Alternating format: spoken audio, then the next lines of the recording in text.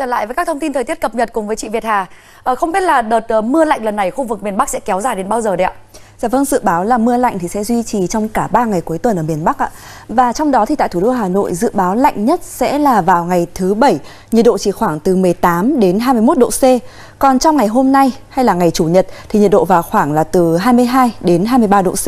Cảm giác lạnh sẽ chủ yếu là đến từ mưa. Sang tuần sau thì nhiệt độ có xu hướng tăng lên nhưng mà trời vẫn nhiều mây, âm u và có mưa. Quý vị lưu ý là nồm ẩm có thể sẽ quay trở lại. Nhiều nơi khác ở miền Bắc thì cũng có mưa lạnh trong ngày cuối tuần này, như tại Ninh Bình, Hải Phòng, Lạng Sơn, Hà Giang hay Việt Trì, dự báo nhiệt độ cao nhất sẽ không vượt quá 23 độ C.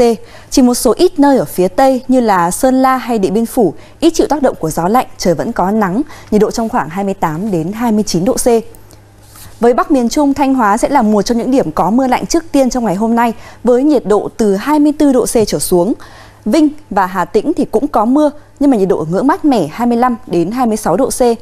Trái lại thì từ Đông Hà trở xuống đến Huế vẫn có nắng và nhiệt độ khá cao trong khoảng 29 đến 32 độ C. Vâng, đó là diễn biến thời tiết của các khu vực phía Bắc từ nay đến cuối tuần.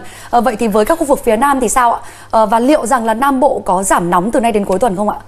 Dạ vâng, với những khu vực ở phía Nam và trong đó có Nam Bộ thì vẫn nắng mạnh cả chục tiếng trong ngày ạ.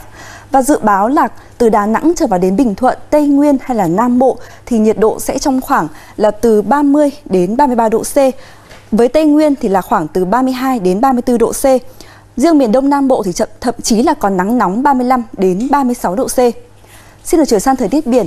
Ngoài khơi quanh hai huyện đảo Hoàng Sa và Trường Sa, trong ngày hôm nay trời có nắng, gió khoảng cấp 4, cấp 5, tầm nhìn xa trên 10 km. Còn với khu vực Bắc Vịnh Bắc Bộ thì trời ít mưa nhưng mà gió đông bắc cấp 5, giật cấp 7. Vâng, cảm ơn chị Việt Hà về những thông tin thời tiết chi tiết vừa rồi. À, và như vậy là từ nay đến cuối tuần thì phía Bắc sẽ vẫn duy trì mưa lạnh, còn phía Nam thì tiếp tục nắng nhiều và nào trong đó thì Đông Nam Bộ sẽ tiếp tục nắng nóng. À, và hy vọng rằng là với những thông tin thời tiết vừa rồi của chúng tôi cũng sẽ hữu ích để quý vị có thể sắp xếp những lịch trình công việc sao cho phù hợp từ nay đến cuối tuần.